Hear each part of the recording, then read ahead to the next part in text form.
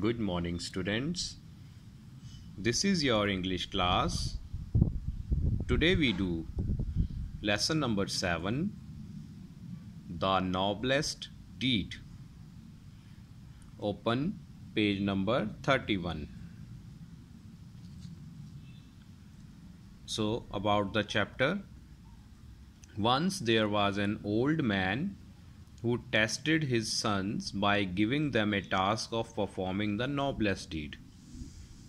Once means एक बार एक old man था वाज का मतलब था हु टेस्टेड हिज सन्स जिसने अपने बच्चों का टेस्ट लिया?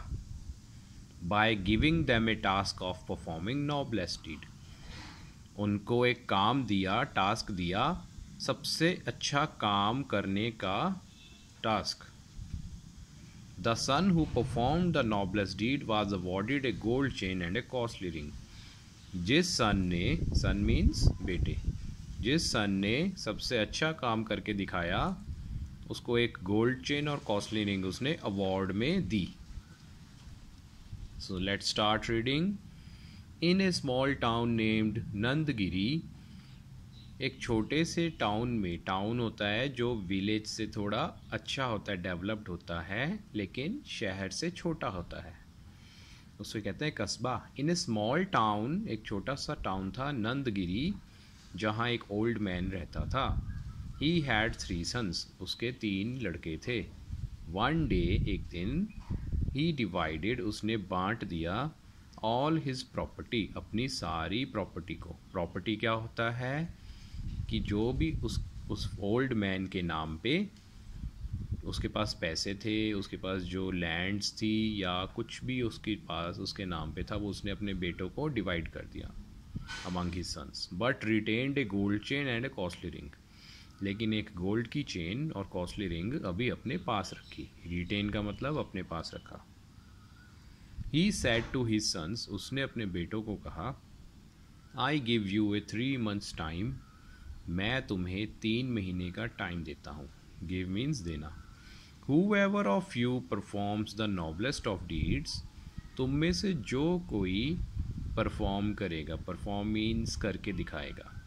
नॉबलेस्ट ऑफ़ डीड्स सबसे अच्छा काम। डीड होता है कर्म, हमारा काम। Will get this gold chain and this costly ring उसे यह गोल्ड चेन और कॉस्टली रिंग मिलेगी। All the sons walked away सभी सन्स वहाँ से चले गए। आफ्टर थ्री मंथ्स तीन महीनों के बाद ऑल द थ्री सन्स सभी तीन बेटे return to the old man old man के पास वापस आए। रिटर्न मीन्स वापस आना। The old man asked the eldest son old man ने सबसे बड़े बेटे से पूछा। एल्डेस्ट होता है सबसे बड़ा यंगेस्ट होता है सबसे छोटा। एल्डेस से पूछा tell me which good deed did you perform बताओ तुमने कौन सा अच्छा काम किया? Father said the eldest son उसने कहा, पिताजी while on my journey I found a bag full of gold coins and rupees lying on road side जब मैं जा रहा था रास्ते में, मुझे एक बैग मिला, जिसमें गोल्ड कॉइन्स थे और बहुत सारे पैसे थे रोड की साइड पर. I inquired about the bag मैंने बैग के लिए पूछताछ की.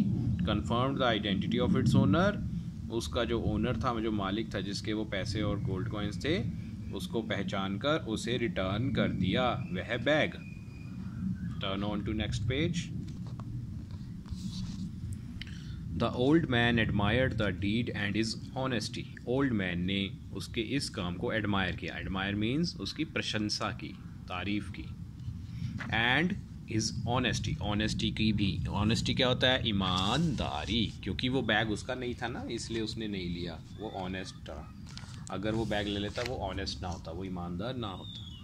He asked the second son उसने दूसरे बेटे से पूछा what did you do which you can call noble deed तुमने क्या किया जिसे तुम एक अच्छा काम कह सकते हो? The second son smiled and said second son ने कहा during the course of my journey अपनी यात्रा के दौरान while passing by a river एक नदी से गुजरते हुए पासिंग होता है पास करते, वहाँ से गुजरते हुए। रिवर मीन्स नदी। I found a young boy drowning मुझे एक छोटा बच्चा बॉय मिला जो ड्राउनिंग ड्राउनिंग मीन्स डूब रहा था। Though I myself am not perfect at swimming जबकि मैं खुद स्विमिंग में परफेक्ट नहीं हूँ, मुझे तैरना नहीं आता। However I jump into the river फिर भी मैं रिवर में जम्प कर दिया and save the boy's life और लड़के की जान बचा ली। सेव मीन्स बचाना। Old man said your deed is worth praising old man ने कहा, तुम्हारा ये काम बहुत तारीफ़ के काबिल है। वर्थ होता है काबिल। प्रेजिंग मीन्स तारीफ़ के। एडमायर और प्रेज जो है, इनका सेम मीनिंग होता है, तारीफ़। It is a noble deed यह है एक अच्छा काम है, सच में। इन डीड का मतलब सच में। Next the old man turn towards the third son फिर ओल्ड मैन तीसरे बेटे की तरफ़ गया एंड आस्क्ड और पूछा what noble deed did you do my son तुमने कौन सा नेक काम किया? The youngest son said youngest son ने कहा during my course of stay at a time जब मैं एक टाउन में रह रहा था स्टे होता है रहना। A person picked up a quarrel एक पर्सन ने वहाँ लड़ाई झगड़ा शुरू कर दिया। विद मी मेरे साथ एंड बिकेम माई एनिमी और मेरा दुश्मन बन गया। वन नाइट एक रात को ही केम टू किल मी वह मुझे मारने आया। वाइल आई वॉज़ अस्लीप जब मैं सो रहा था। स्लीप मीन्स सो रहा था। As he wanted to stab me जैसे ही वो चाहता था, मुझे स्टैब करना। स्टैब क्या होता है? चाकू मारना। आई वोकअप मैं उठ गया। आई कॉट हिम मैंने उसे पकड़ लिया। कैच होता है पकड़ना। कॉट होता है पकड़ लिया। कैच का पास्ट है कॉट आई कॉट हिम ऐसे ही वोक किसका पास्ट है? वेक वेक होता है जागना। और वो होता है जाग गया I woke up I caught him red handed red handed means रंगे हाथों, यानी कि उसे करते हुए पकड़ लिया, जब वो मुझे मारने लगा था। हाउ एवर लेकिन वेन ही बैग्ड पार्डन जब उसने मुझसे माफ़ी मांगी।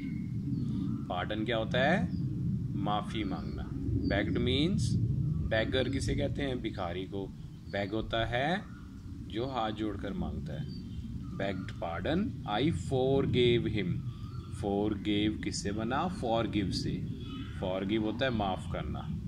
और गेव माफ़ किया। गिव का मीनिंग माफ़ कर दिया। आई फॉर गेव हिम मैंने उसे माफ़ कर दिया। The old man said old man ने कहा अमंगस्ट ऑल ऑफ़ यू तुम सब में से द यंगेस्ट हैज़ परफॉर्म्ड जो सबसे छोटा है, उसने सबसे अच्छा काम किया है because no other quality is as noble as to forgive क्योंकि किसी को माफ़ कर देना फॉर गिव क्या था? माफ़ कर देना, उससे बड़ा कोई नेक, उससे बड़ा कोई गुण नहीं होता। क्वालिटी क्या है? गुण। The old man gave the ring and the gold chain to the youngest son old man ने जो रिंग और चेन थी वो यंगेस्ट सन को दे दी। यंगेस्ट मीन्स सबसे छोटा लड़का। सो so, क्या मोरल है इस स्टोरी का? अगर आपके साथ कोई बुरा करता है या गलत करता है या चीट करता है सो उसको माफ़ कर देना एक बहुत बड़ी क्वालिटी है। और उस क्वालिटी का हमें कौन फल देता है? गॉड तो इन चीज़ों को ध्यान में रखना है। सो एक बार हम इनके वर्ड मीनिंग्स करेंगे। First is divided divided means बांटना डिस्ट्रीब्यूटेड रिटेन मीन्स पकड़ के रखना to hold back performs means करना does costly means valuable expensive costly होता है, जो महँगा होता है और जिसकी बहुत ज़्यादा कीमत होती है वैल्यूएबल होता है, कीमती। डीड वर्क काम। एडमायर्ड प्रेज्ड प्रशंसा करना, तारीफ़ करना। ड्राउनिंग डूबना सिंक करना getting under water quarrel dispute झगड़ा। एस्लीप वाइल स्लीपिंग सोते हुए, नींद में। फॉरगेव पार्डनड माफ़ करना So these are the word meanings. Write word meanings in your notebook. Next is true false. Write T for true and F for false. The old man had four sons. Four sons the? No, three sons the. False. First is false. F. The old man gave his sons three months time. Old man ने अपने बेटों को तीन महीने का time दिया. Yes, true.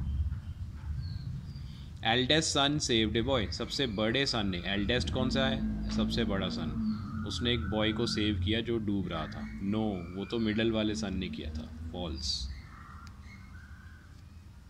second son was perfect at swimming second son जो था वो उसको स्विमिंग बहुत अच्छे तरीके से आती थी। नो no, उसको नहीं आती थी। फॉल्स परफेक्ट होता है जो अच्छे से जानता हो। Youngest son forgave his enemy. जो यंगेस्ट सन था, सबसे छोटा लड़का, उसने अपने दुश्मन को माफ़ कर दिया। Yes true the old man gave the ring and chain to the youngest son yes किसको दी थी? यंगेस्ट सन को चेन दी थी। True so F T F F T T so second you have question answers इसके answers आपको group में send कर देंगे। So today in the morning you have also received page number thirty. Page number thirty का जो भी answers हैं वो आपको पिक्चर में भेजे हैं, वो भी आपने राइट करने हैं। ये सारे टॉपिक्स आपके एग्ज़ाम में आएँगे, इसमें ग्रामर एंड कॉम्प्रीहेंशन दोनों कंबाइंड हैं आपकी बुक में। So next unscramble unscramble means इन वर्ड्स को आपने सही करके लिखना है लेटर्स को अरेंज करके। सो क्वेश्चन के आंसर्स एंड इसके आंसर्स आपको ग्रुप में भेजेंगे। Next you have on page number thirty four grammar skills grammar क्या है? यहाँ पे हमारे पास सब्जेक्ट एंड प्रेडिकेट दो चीज़ें हैं। इसकी हम अलग वीडियो बनाते हैं।